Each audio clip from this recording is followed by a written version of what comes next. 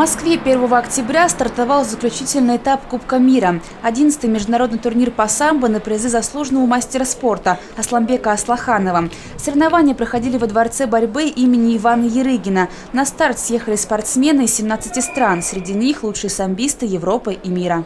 Из дальнего зарубежья у нас самое далекое Марокко, Болгария, Румыния, Монголия – что является, в общем-то, ну, это те традиционно сильные страны, когда, которые всегда участвуют во всех чемпионатах мира, кубках мира и завоевывают соответствующие места. Э, турнир, он, э, ну так получилось, что он э, собирает всегда сильнейших, потому что после него уже чемпионат мира.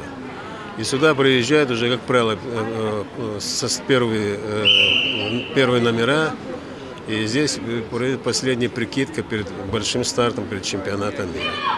Однако сборная России не ставила первостепенную задачу выиграть кубок. По словам главного тренера команды Дмитрия Трошкина, первые номера взяли паузу и не стали участвовать в турнире, чтобы не рисковать перед чемпионатом мира, который пройдет с 8 по 12 ноября в Минске.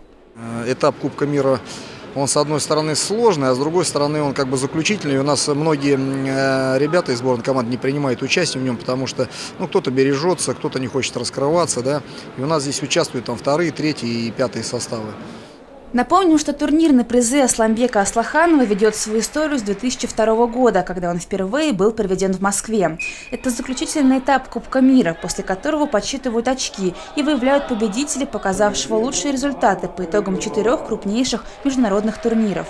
Наивысшая награда для спортсменов здесь становится не только кубок, но и новое звание, наиболее уважаемое из которых – мастер спорта международного класса. Именно такого разряда удостоилась россиянка Анастасия Шинкаренко, вырвав в финале победу белорусский Екатерины Прокопенко, двукратной чемпионки мира. Еще надо документы подавать, много всякой волокиты. Ну, норматив я выполнила. Я с белорусской уже встречалась на другом этапе имени Харлампева. Проиграла один балл. И сейчас мне хотелось очень победить, и я собрала все силы и сделала это. Было очень тяжело. Турнир получился зрелищным и очень напряженным. В общекомандном зачете победу праздновала российская сборная, в очередной раз показав высокий уровень подготовки наших бойцов. Всего россияне завоевали 15 золотых, 8 серебряных и 12 бронзовых медалей.